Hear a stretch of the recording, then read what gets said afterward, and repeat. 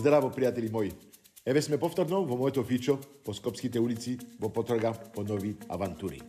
Некако, во последниве неколку емисии се навраќаме на одредени работи кои ни овозможиле одредено уживање. Независно дали е храната, музиката или амбиентот, убавите спомени навираат. Па така, мене ми дојдоа спомени од детството, од топлата насмевка на баба ми. Затоа, за почеток на оваа авантура, чи лайф мотив ќе биде традицијата, решив да ја посетам куќата каде живееле баба ми и дедо ми до земјотресот, а потоа да заминат во Белгија. Иако сега делува грдо и напуштено, таа е дел од моите корени. Многу приказни со среќен и со тажен крај, но и приказни кои се уште траат и не се завршени. Се проживеани раскажани и прераскажани за купното Скопско мало, кој кога го подсетиме во нашата денешна авантура Дебер Мало. Тука секој кјоше има своја приказна, секоја кафана своја историја.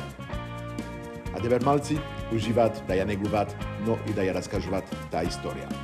Затоа, одиме во посета на омиленото место за дружба на филмаджи, актери, поети, музичари. Одиме во Чамо. А кој ќе ни ја пренесе магијата на Дебермало? За кратко ќе видите. О, здраво господине. Добар ден, господине Марка. Вие сте Зоки Малиот. Се гледа. Малиот, ама Малиот, Малиот млад. Вау, како изгледате. Браво. Супер. Сопругата ми збореше за вас. Да. Знаете И ја многу ќе ви кажам за неја. Да, да, ме вие знаете многу, многу ствари за старото Скопје. Па знам. Е, па мило ми е. За угостителството во за највеќе. ајде, да разговараме. Разговарам. Е, Слободно.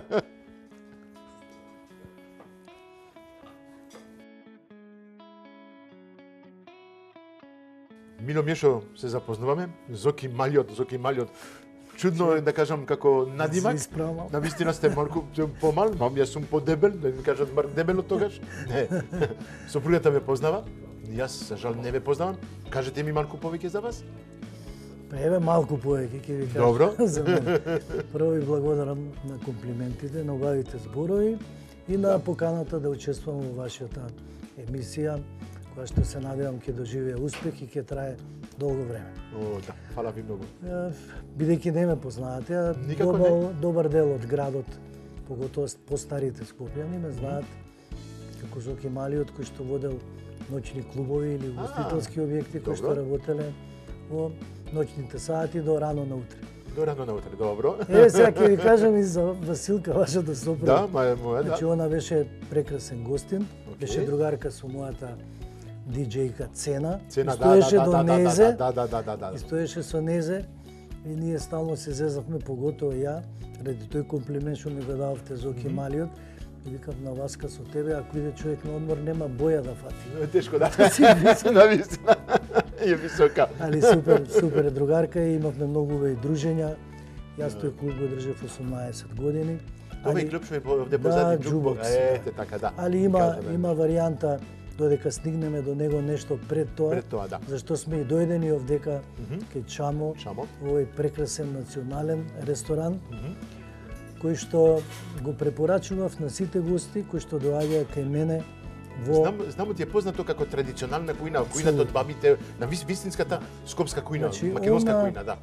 Он Марк беше единствен во тој период, а се надевам и сега немам Да, да, да, случајот да. дека работи со кујна во која што се нудија специјалитети домашни. Домашни, да, Значи, да. тоа е штавел, па мускул, па кукурек, дроп сарма, Јадења што треба долго време така долго да, да, време да кршкат, се спрема, да, да, се готват и самиот мирис кој ќе влезете внатре како дава една рома на домашно. На домашно, да, да, да, да. Е, момент не го знаете и доста нови гости што доаѓаат не го знаат. Кога ќе се влезеше кај чамо во тоалет имаше када.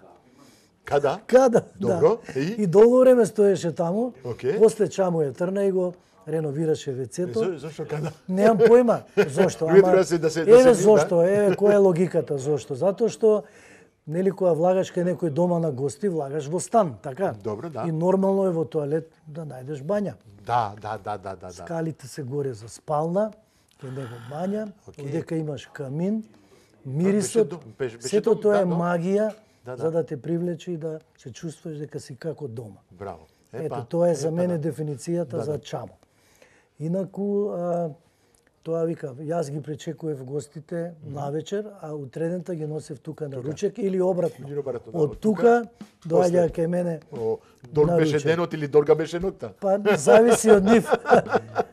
Точно. значи, можеме он и јас, мали он е повозрасен од мене, да се пофалиме со поред тоа што нудев јас забава, он нудеше убава храна, да се пофалиме дека многу еминентни и гости од странство А. доаѓа и од дека и Добро. кај мене. Значи, ова е еден албум на подсетување на луѓето што доаѓале кај него. А паралелно со тоа носам и јас албум. На видов имате една книга, Да, нешто или ова, ова е дневник. Дневник, Или добро. учебник за прво оделение. Добро. За тие Да, што треба да се научат како да се однесуваат Окей. во ноќен клуб, Океј. со кои луѓе јас сум се сретнал, а и некој од нив ги има и овдека. Да.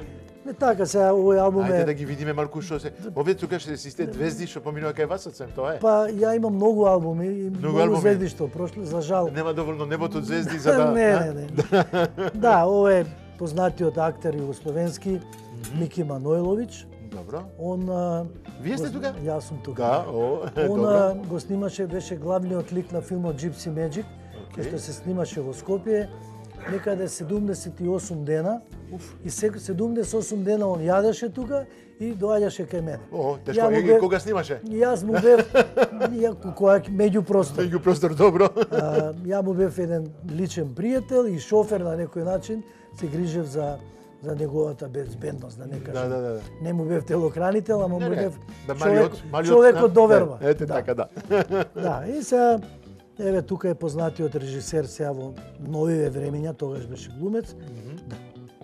Пардон, Драган Белогрлич. Еве го овдека Желко Бебек, тој беше вокал на Бело дугме. Сношти имаше концерт у Скопје на 77 го- години. Направи ненормално Чудо. убава атмосфера, Атмосфера и све. два и пол сата. Тоа се луѓе што го Да, имаат во крвта, тоа е, мора, да, да, да, да, е. да, да. Тоа е да. Браво. Еве го познатиот режисер Слободан Нунковски, кој што глумците од Белград која доаѓа да настапуваат во Скопје со представи, ги носеше кај мене после представа. И све тоа во во све во во Чуб- МЦМ. А МЦМ, МЦМ. Да, тој е период- МЦМ е другата страна овде. Да, е, кажи, да, старата куќа на Рубеновци, спроти Океј. фонтана, блиску до Чамо. Значи се ние тука, во, Тука е во во во овој дел. Да, да, овој дел, да, да, да. Е, и ова е еден познат правев во средите кога мажите гледаат фудбал, ја па правев жените, женски па да. стриптиз. Па добро. И специјален гостин од Белград, Зоран Остојич, кој правеше посебни вечери и само жени беа таа. Одлично, па да. Па Жените- треба и за нив. Жените кои што знаат да се забавуваат, никој не знае. На вистина? Никој. Ајде. Значи, они се- Мислам ти мажите беа само Не, не, мажите се агресивни, А. ние кај жената гледаме облини, а они кај себе, они се облакаат за да им се допаднат на другите жени. А, добро, окей. они преметуваат се на нив, шминка. Точно. Се на не, а ние друго гледаме. Друго е, да, да, така. да. И у два сат ги отвара вратите и мажите влагаат тогаш, еуфорично и... А, беа спремни и бе, жените, чека само. Па, некој да, некој, некој не. Е, ова е Владко А, Стефановски, да. Ама имаше коса тога, има, да. О? братот Добро. негов Горан Стефановски, Не имам слушнато, да. сега имаме споменик тука, те одбележие на него, беше он дебар малец. Точно. И а, кога доаѓаше од Лондон, бидејќи он таму живееше, првото доаѓање му беше у Идадија кебапчиња и кајапче на Тулумба и бакова. Или Браво. боза, обавезно. Осем и дадја, чомо, апче, се местата нај, да, е, најпознати од овој Па да, кварто од Дебер ова Мало, регија, да, од старото Кој што Скопје. е Белградска Дарлија, значи ние сме еден боемска, еден и два. Еден и Така. два. Добро. Така Кажете сме. ми уште нешто за вас.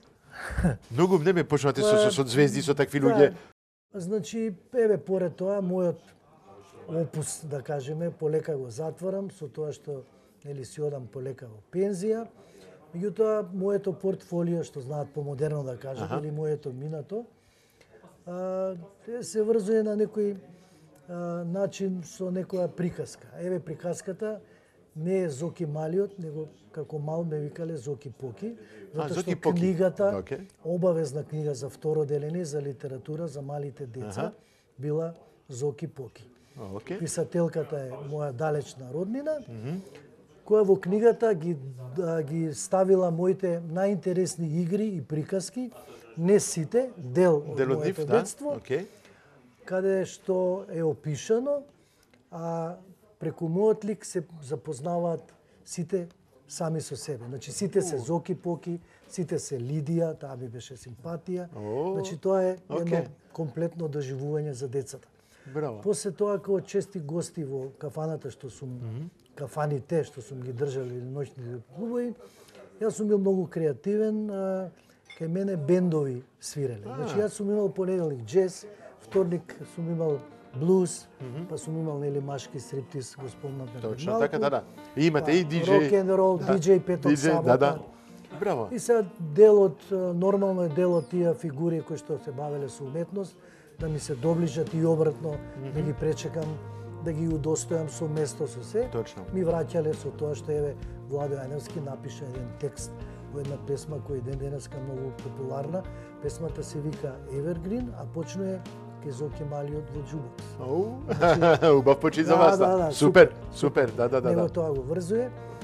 И да речеме после тоа, познавајќи ги нели режисерите ова, ме викна да играм во еден филм кој што доби четири светски награди. О, браво. Се вика Па тоа човек. на Оливуд не е далеко, Да, не е далеко. човекот со чудна навика да му удира со чадор по глава или амбрела за Добро. европско тржиште. А еден ваш колега кој што моментално го снима нашиот прилог, еве го позади вас, Добро. учествуваше во во снимањето на тој филм, така да не лажам. Да, да, да, вистината е тука, па, па зошто да, зошто да лажете ми кажувате Да. вистината за вас, И тука сме, супер, да, да. Тој филм супер пројде. Игра многу професионални глумци. Ја играв од пола од 30 минути трае филмот. Охо. Ја играв 20 минути, значи повеќе од главните Од главните актери, да. актери. Браво се кажете за вас. Добивме во Рио де Жанеиро, во Париз, во Амстердам и во Фиренца. О, не сте Значи, познати само, вие не сте познати само во Македонија, Да, и надвор светски човек Да, сте. за надвор ќе ви кажам на крај. добро, окей. Последната сличка. Значи добив награда за споредна машка улога, некој фонд на пари кој што символично да ги додели, Да, и да, ги да. дава ги до, донира во домот за деца без родители. Браво. Ман човек. Да. плюс. И а, еве да го завршам и да го скратам мојот опус. Последниот а, настан кој што лично многу ме возбуди, јас сум нели мал и личам малку на фудбалер, нели? Добро, окей. Мал со криви ноги, стомак, брко и имам седе позади. А, добро, Затоа окей. носам капата. Се случи минатата минатата пролет, точно во мај месец едно студио Маја Сашек објавува некој конкурс ми се бара млада девојка со црвена коса на 25 години Добро. и возрасен човек. А, добро, окей. Да, Е, па, возрасен. Да, да. Да, Ти млада-. Ти младата девојка малку мал. ми беше чудо, да, да. Не мал, возрасен. Возрасен, да, да, да, да, да. Кој што има брко и малку е насмеан, ведар лик, Окей. да учествува во една реклама. Не ни соопштија за кого Која се реклама работи, која да, да. реклама и зашто тоа е професионална тајна, Аха. за да не почне дали да се збори и да се растори се. Точно. Ми се јавија на телефон, ја гледале некоја реклама пред не знам што и режисерот рекол најдите го, овој господин ми треба. Браво. Ми се јавија може ли да дојдеме, може. Дојдоа со камери на лаптоп, му праќаат слики со капа, без капа, со ночери, без ночери. Денеска четврток, он вика у понеделник нека дојде у Свети Стефан, у Црна Гора, Ау. се снима рекламата за душеци, комодита. Ком... Ја Добро. бидејќи сум дебар мало, Со младата? ќе ви кажам со Добро, окей.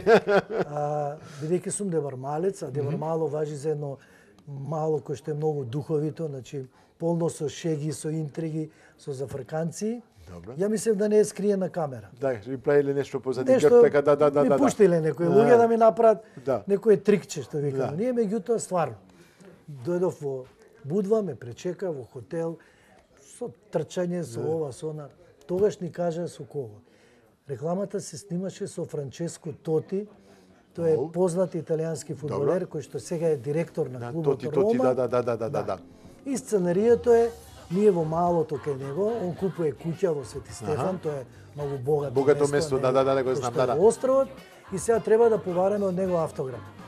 И доаѓаме са бајле рано, затоа сме сите у пижами, да го фатиме пред да оди на тренинг, да ни се подпише на душек. А вие бевте у пижами? Ја у пижами.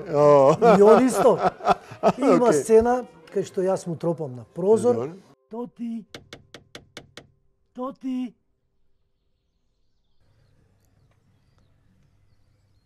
Totti, can you sign this for me, please? Sì, certo. Му подарив една мајца и ме прашува, пошто ја имав едини контакт со него, другите нема. Да, да. Му викам, му вика, мајцата, што е? Викам, ова е подарок.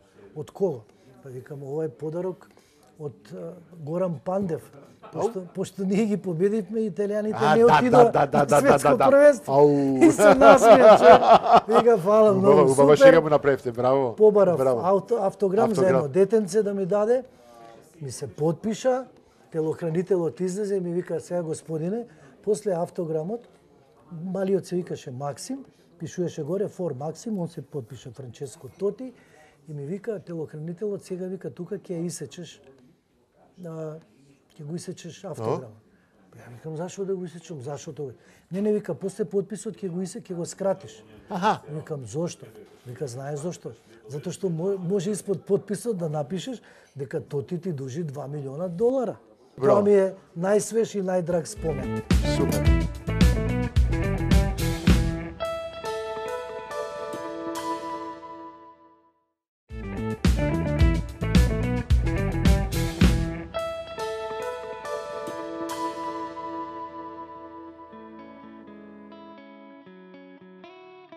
Ајде, во меѓувреме ни донесува Да, убавини на маса на вистина. прекрасни- Ја наполнија масата за, прекрасни- прекра- за, за, за секунда. За секунда.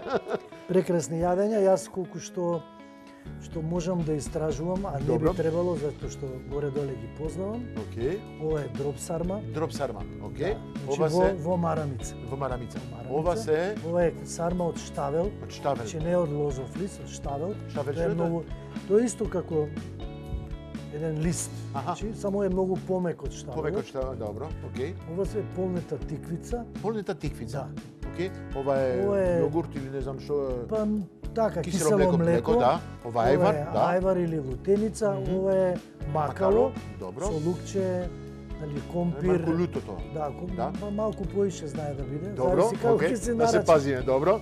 Ова е пиперка во павлака и она има две варијанти лута и блага. Океј. И ова е сезонска салата. Овие лепчиња малку ми се- специфични, така има. но како багет се, Да, ма, што е ова на, на тоа е, тоа? ние ја викаме туцана сол, сега, толчена сол. толчена сол. Толчена сол. Добро. Да, многу е вкусно. Да, шмек еден посебен. Обично околу Великден највеќе ја практикуваат домакинките на маса, бидејќи јајцата во тоа се мацкаат, па се Да, видам, јадат. многу. Супер. Да. Супер.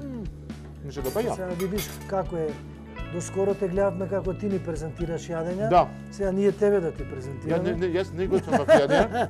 Многу сум среќен. Да. Што можам сега поку, после толку години што живам во Македонија, да видам убавините во Македонија. Супер. Од на Поготово- вистина јадењата ги знам негде од баба ми што ми ги готвеше кога бев мал, ама сега ги гледам во живо убаво после 40 години тоа. Вау, многу ми се многу ми се допаѓа. По Инфлуенцата тоа е, да. По да. тоа е чаму познат и ќе остане познат. По тоа што еве, значи има штавел, има дроб сарма, тиквица, има кукурек, Кукурек да, да, слушам значи тоа кукурек да. да. мускул, Кукурек тој е специјалитет јас. Прилеп, не? Не. не. Не, дури Ширдан. Ширден, ете така, да. А тоа е да, малце веште, тешко да, да. Да, да, да, да, масно јадење со Ајде, ја, ја, јадете нешто да да да да да, да пробаме? Па, с- Ја не знам што да да да, да, Јас, да, јас се почнам. плашам да пробам. Како се плашате? Наглу висина ќе добијам после. Ви од Ќе висина, јас од ќе ви се дебелина. смени текот на емисијата. Мала, Добро. ќе- Ама мора мора да пробаме. Да, да, еве ќе пробаме. Јас таа дроб сарма ме Да. ме мами така. Мм, сакам да. Мене да видам. макалото, тоа ми е почеток на Оф, оф, оф. Ќе го земам кај мене, ќе ми биде ти полесно.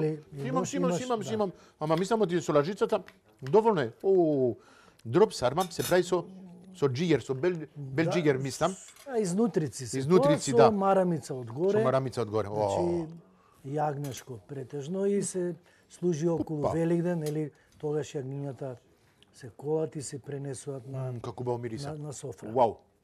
Некој става марка и кисело млеко од озгоре. Кисело млеко да... Некој става Ајде. да го разбие, пошто е така малце холестеролско јадење што се Холестеролско? Да, малце. Добро, по, ајде. Потешко. Ќе потешко пробаме со со со кисело и мислам дека млеко. ќе ти- Ќе видам како ќе Да. биде тоа. А, еве додека јадеш ти, јас имам уште еден прилог за тебе. Да, што гледам од имате се- како еден Се вестник. надевам, да, се надевам ќе ќе го дополни она што разговаравме до сега.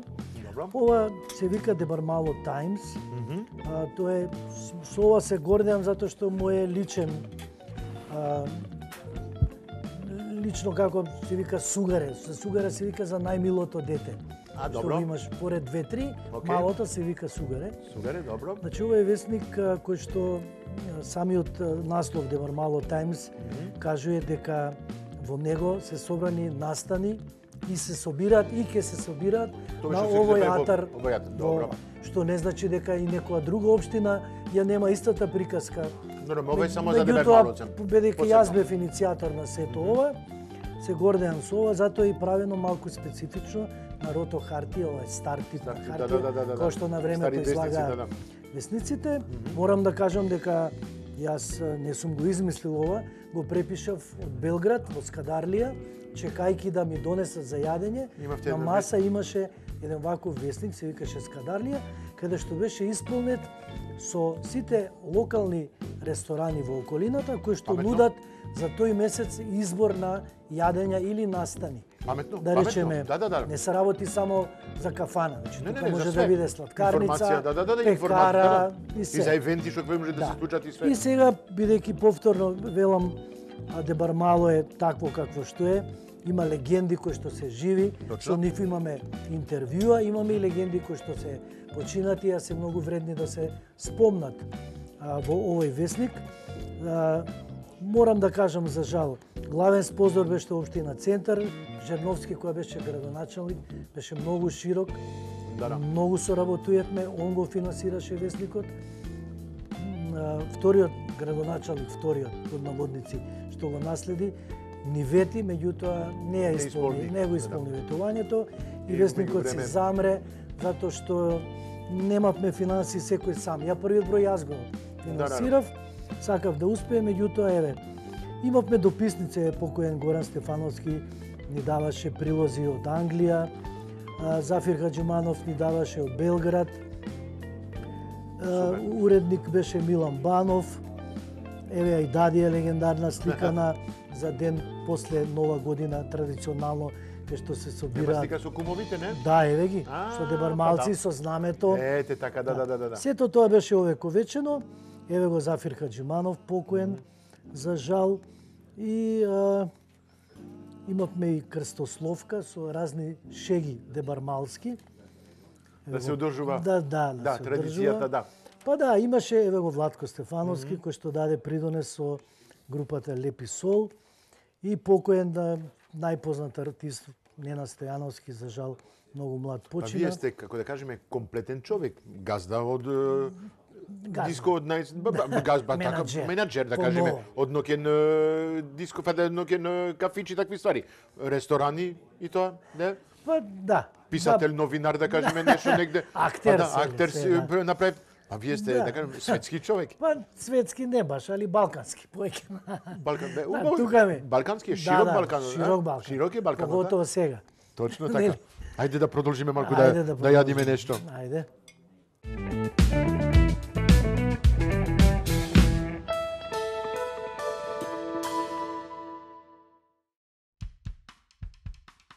Значи тоа е објектот или куќата каде што во сутеренот се наоѓа просториите на ноќниот клуб или кабарето. Да, да, кабарето, добро. Джубокс. Джубокс, да, Да, и тука е врзано малтене 18 години од моето 18 години. действување Ау. навечер. Браво. После 12, значи сите која затвара овие локални кафани, Сите во джубокс. долу кај мене исправени. Браво. Или да се исправат. Да, да. А сега идеме полека до нашата легенда Дебармалска, Добро. македонска, тука е Горан Стефановски, кој што еве го удостоива со еден споменик, Добро. кој што наоѓа во епицентарот на Дебармало. Еве долу, долу пише тоа камерата може А, да го Горан фати. Стефановски, Значи да. да, драмски Драмен- Драмски, да. Писател, 1952 приказните се 2018. сршта на нашиот живот, работот е нашата, нашиот идентитет, Горан. Значи беше многу речит, многу го сакаше Дебармало, многу дреше до традиција, имаше во него текст И не случајно 80% од текстоите на Владко Стефановски Се од него. се од него, од неговиот брат Горе. И сега еве следиме и негови Може да кажеме, од из- извинете што што што прекинам, од од од, од овој дел од Скопје од Дебермало, многу луѓе, многу познати луѓе искачаа да кажеме. Да. еве, јас пример живеев стотина метра од тука, Аха, позади мојата зграда живееше еден актер, се вика Гоце Тодоровски, уште е жив. добро. Спроти мене покоен Дена Стефановски, Владко и Горан живеева во куќата кај што е Вардар Мебел, Океј. Ванчо Петрушевски, Сите звезди овде. Јовица Па да. Михајловски, да. О, Значи актерите живеева За околу тоа се кажува боемското мало, да. Јас сум наследил некој дел од нив. Нешто сум научил. Браво. Така да многу го сакав, го обожавав и неговото мото беше кога доаѓаше од Англија. Исто кога да не си дошол од Скопје, ако не пробаш кебапчо и дадија, и боза и тулумба кај јапче. Еј, Тоа тоа беше ќе неговиот тоа ќе не биде уште еден дел Да, и од сега нашата после чамо и Да, ова, да, да. ќе отидеме до Да, да. кај Тулумба со боза. Магична комбинација која буди спомени. Во последните неколку авантури постојно не следи. Ви спомнав на почетокот дека постојано се враќаме на некои работи. Ова е една од нив. А каде? Во Дебермало на Тулумба и Боза, ако не во Апче. А таму го сретнавне Мирослав Чамо. Ни ја покажа локацијата на старото Апче, а ни раскажуваше за Дебермало во новото денешното. Со Тулумба и Боза се разбира. Формирање на Дебармало. Добро. Како мало, апше беше живот. Живот. Живот. Добро. Не може да никој да представи да не дојде да кај апче во текот на денот. А мораш Дали еднаш на ден на да ден обавезно. Дури Добро. понекогаш се случуваше и навечер пред затварање на Океј. стариот газда Чичко Исмаил да не пречека и ние да го испратиме Ајде. као деца мали. Да, Ау. живот. И апче и како се вика и дадија капаната беа живот за дебармалци. Добар ден. О, да. добар ден. Ова што ни носи момчево, инаку е внук на стариот Чичко Исмаил. Добро. Чичко е деликатес. Деликатес на оваа сладкарница. Мислам ти турумбата, мислам ти турумбата е за вас? Да, благодарам, Да, да, да. да. Ова се специјалитети. Па ова, да. ова стариот Чичо Исмаил мене ме израсна. Добро. Јас као младо дете, као младинец, спортиста. Аха. Се бавев А со спор- спортист? спортиста Добро, и, и со фудбал и со кошарка. Окей. После секој тренинг, после секој тренинг по 10 саатот, кој ќе затвараше Чичко Апче, кој сладкарница се наоѓаше тука близко од ово старо место, од ново место. Окей. Ова обавезно пречекуваше со една турумба. И помалце огромно, вода. огромно, огромни турумби се. Не само што се голем, се и многу и вкусни. А, па сигурен сум, има Да. и шербет, така гледам. Ова како се викаше ова? Индијанка. Да. Тоа е индијанка. Ова е малку Има многу. Да. Па друг, друга, оди сладкарите си знаат. Сакат нешто специјалитета. малку полајт, ама ми слушна, мисла, Да, од ова да. малку пуно со шеќер. Јас со ова се израснав со оваа Да, Да, има вау. доста шеќер, доста шеќер, а мене пошто имам потрошено доста енергија, Ајде, има потреба од шеќер. Точно така. Ајде ги пробаме? Може. Ајде. Оу. Леле, леле. А, многу лесно изгледа. Отиде, отиде тоа мезето Отиде мое. возот, да.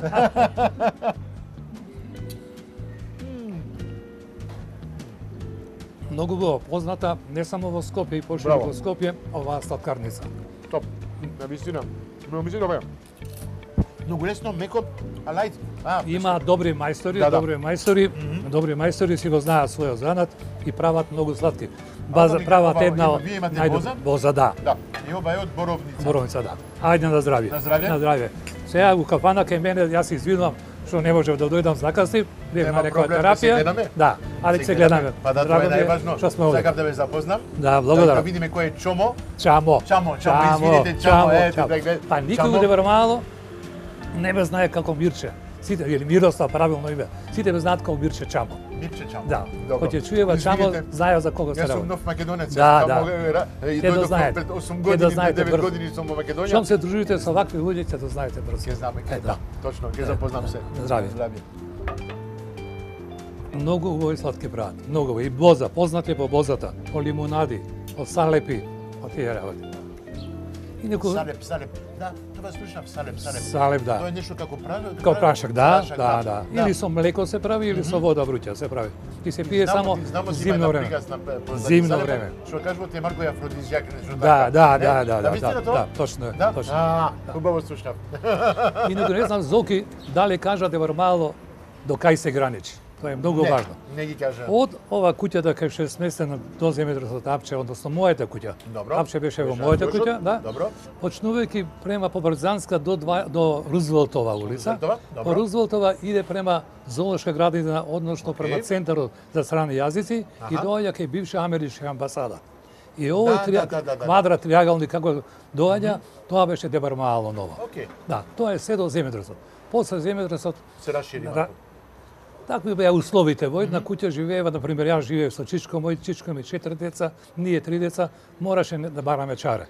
Мораше или некој да градат, некој да, Да, да. земе да гради, што настана хаос оваков, за мене е ова хаос. Мислам ти порано пред земјотресот, извините што Да. прекинувам, куќите не беа толку Не, високи. не, не, само приземи испрат. Приземји испрати. Приземји беше. испрати, тоа беше најголемата да, куќа. така. Најголемата куќа. Оти војко ми ми кажуваше, они живееле овде во Скопје, во Да. и во Рибарлона, баба ми, Така, да. е, дедо ми и све тоа. И ми кажуваше, војко ми на мистерот имаше мали куќи, имаше едно само две, три високи згради Да, на да, 6, да. 7 спрати После, максимум. после земјотресот Да. почна да се прават, од Узлтова да. натаму и почна, але тоа веќе не е дебармало, тоа е се веќе населба. Карпуш Населба. 1, 2, 3 А, и добро. натаму 4. Окей. Е тоа е.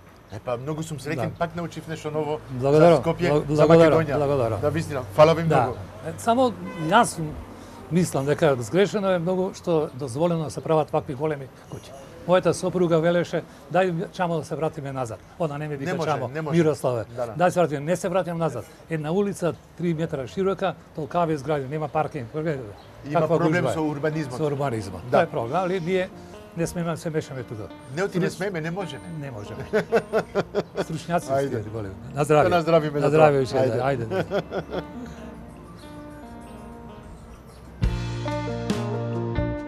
Да говориме за Дебермало, а да не му оддадеме достојна почит на ресторанот Езерца е незамисливо. Но бидејќи ресторанот веќе не постои, решивме да уживаме во едно матине на тоа место. Малку ќе готвам на отворено, а за кого? Хе-хе, Останете со нас и ќе видите.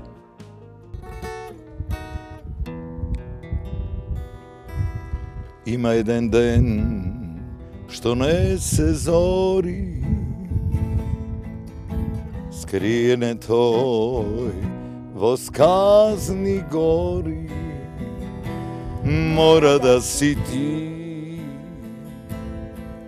od nego eden del, eden dopir toliko mal, eden bakneš so se mal, a vrela čija si, na kogo radosti mu nosiš Zvej ponekoj oblak kako pam čija si i koji ti gali dolgi kosi. Svet si moj a ni tu ime ne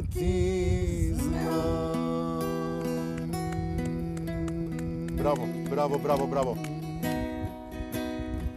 а ниту име не ти знам.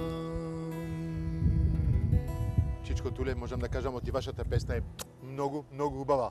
Благодарам. Ау, тоа е нешто што ми ми враќа во минатото, баба ми, дедо ми што живееле овде во Скопје и се тоа. Да готвам денес, не знаев што да направам како рецепта, ама само да мислам на баба ми, баба ми ми правише убава кајгана. Кајгана, е тоа мислам оти е нешто типично во Скопје, во Македонија, кајгана со прас. Прас и малку сланина така. Ау, У наше време тоа тоа ни беше, Беше- као печење. ни Е како печење. А, па добро. Е па ќе направиме едно убаво печење денес. Ќе про ќе про ќе почнам со малку прас. Ете убав убав прас. Ќе просечам малку на ситни парчиња. Да не забораваме да ставиме малку од брилијант зејтин. Ајде. Ап, ап, ап. Да не ми паднат јајцата. Пази, ајде. Ете така малку Сано зејтинче. се Како кажав, прас. Браво.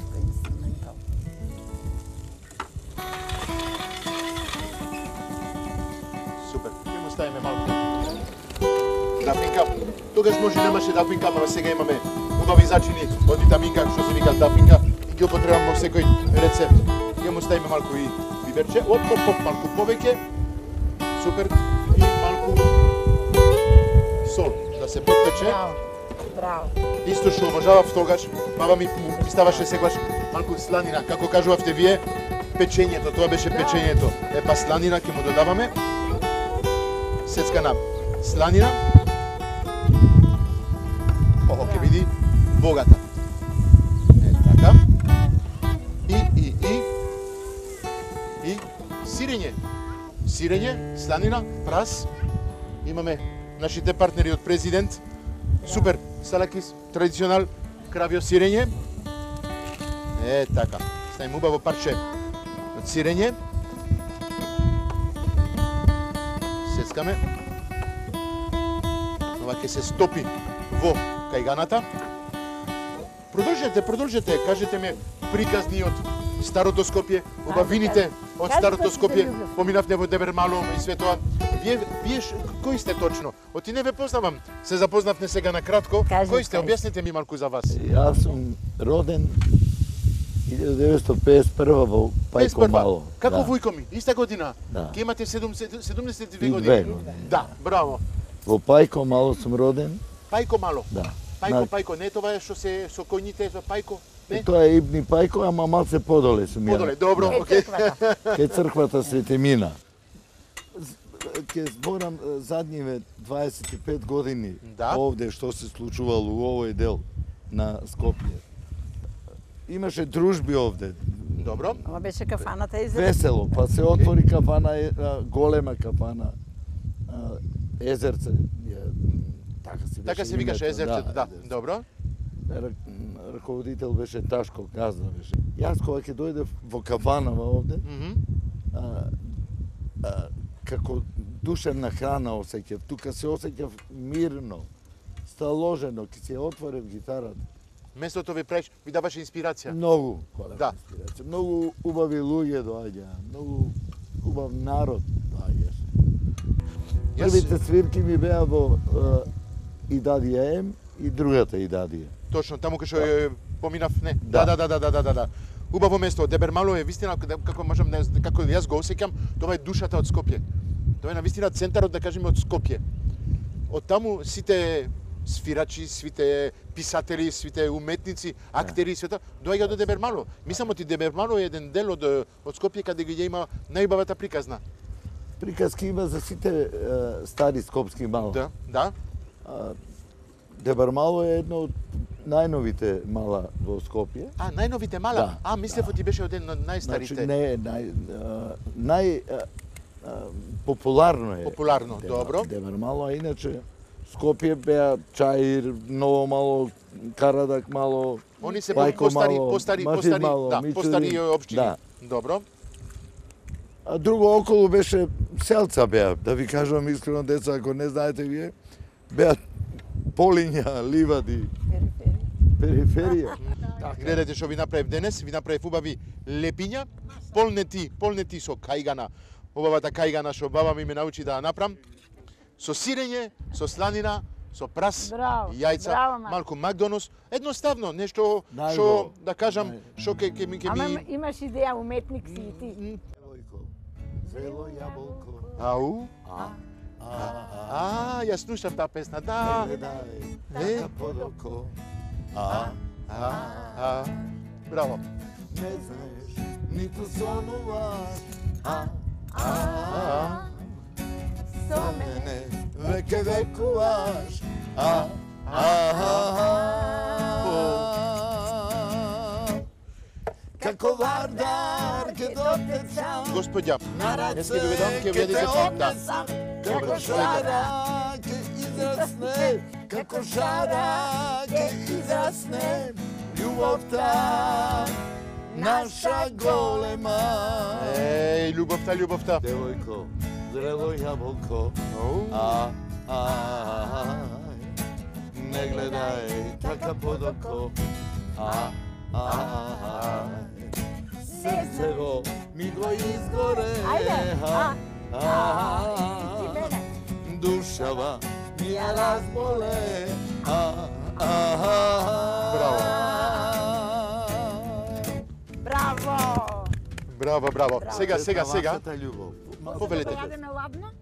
Едно така да да пробате А, само да лапнам? Па ба, како, пазете. Ама ова е колку устата на Тулија, не Е може па, повелете, држите убава ја салфетката доле за да не ви лизне. Ете така, бе господинот ке мора да јаде. Марк, Е па, па прекрасно. па ново едно, многу едноставно, повелете господине. Браво, Ајде. браво. Знаете што? Ке наздравиме на старото Скопје, на старите скопјани и на сите што живеат во Македонија. Здравје! Овде се завршува нашето Прекрасно. готвење, да кажеме, со убави луѓе, со убав амбиент. Ама ти имаш таква харизма. Ми го наполнивте, ми го наполнивте срцето. Фала ви многу. Добар апетит. Браво. Браво. Како на секој крај на готвење и све, имаме еден убав поклон за вас. Гледате, има срце тука. Тоа се вика срцето од витаминка. Моето срце, срцето од витаминка и срцето од вашата омилена половина, е па за вас ви го нас? поклонувам, да. Па Имате убав поклон срце, од витаминка. Имате само убавини внатре, не знам што има. Поклон е, изненадување, ама само убавини. Ама да те Благодарим. пуштам дали смеам? Може да се гушниме, обавезно. Фала ти. Фала. Јас ви благодарам за убавите песни. Господине, јас ви прекам еден бакнеш, како вие го правите во песната. Фала ви многу.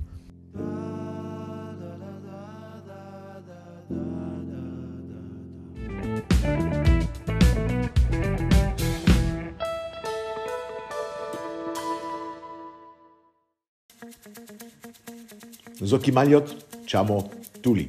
Секој од нив со своја приказна ни откри по нешто за магијата на Дебар Мало. Храната која вкусивме во Чамо и сладките во Апче го заокружија доживувањето, но авантурата во Дебер Мало е далеку од завршена. Нема Дебер Мало без Идадија, нема Дебер Мало без футбол и кометите, но затоа во следната наша авантура. До тогаш, останете ми во добро здравје. До следната недела со нови приказни од магичното Дебер Мало.